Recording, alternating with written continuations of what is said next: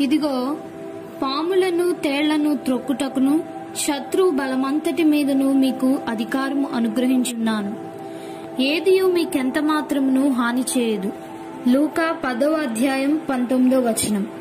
అనేక సార్లు మనం వ్యక్తిగత జీవితంలో విజయం విషయమై శ్రద్ధ కలిగి ఉండము నిశ్చయత కలిగి ఉండము. అది ఎటువంటి అపజయము? పరిపూర్ణ ప్రేమలో విజయం ఉండును ప్రేమ పొరుగువానికి ఏ కీడును తలపెట్టదు.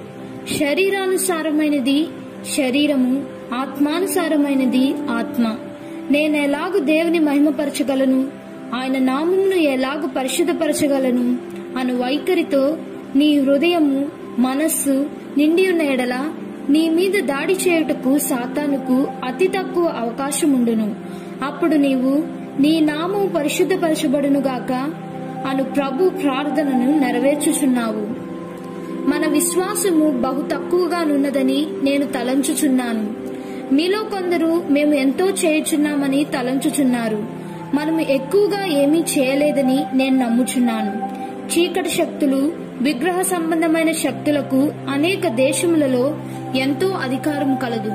యేసు శత్రువుల బలమంతటి మీదను మీకు అధికారము అనుగ్రహించి ఉన్నాను అని చెప్పాను. కాని సైతాను శక్తులను బంధించుటలో మనము విఫలమగుచున్నాము. ఇస్రాయేలీలు ఐగుప్తు నుండి బయటకు వచ్చిన రాత్రి చీకటి శక్తులు పూర్తిగా బంధించబడినవి.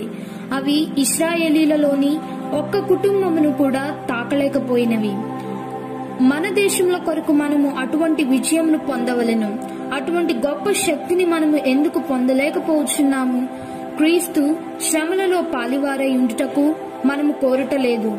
ఆయనను ఆయన పునరుత్థాన బలమును ఎరుగు నిమిత్తమును ఆయన శ్రమలలో పాలివాడునగుటకు ఎట్టిదో ఎరుగు నిమిత్తమును అని పౌలు చెప్పుచున్నాడు.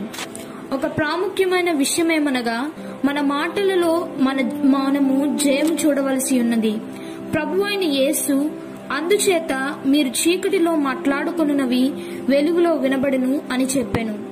నీ గృహములో నీవు బుద్ధిహీనమైన మాటలు మాట్లాడుచునేడలా అది నీకు అలవాటైపోవును. కొన్ని దినముల తరువాత ఇతరులు ఉన్నప్పుడు కూడా నీవు అలాంటి మాటలే మాట్లాడుదువు. అవి ఆ విధముగా వెలుగులోనికి వచ్చును.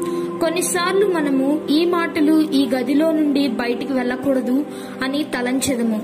నీ గదికి బయట మాట్లాడుటకు భయపడుచున్న నీవు వెలుగు చూచుటకు ఇష్టపడని మాటలు ఎందుకు పలుకుచున్నావు?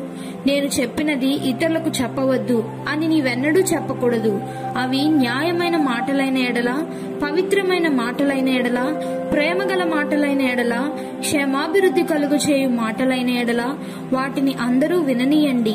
భయపడనవసరం లేదు అలా మాట్లాడువాడే క్రైస్తవుడు. ఒక క్రైస్తవుని జీవితంలో అనుమానాస్పదమైనదేదీ ఉండకూడదు.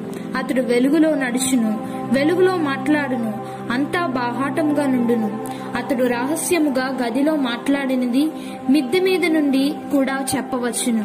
నీ మాటలు అలాగున నుండగలవా?